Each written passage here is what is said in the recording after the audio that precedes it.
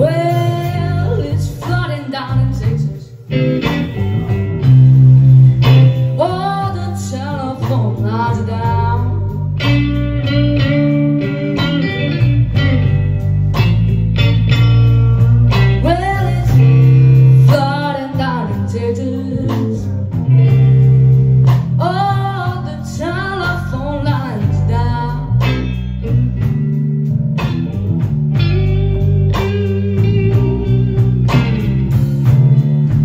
Why?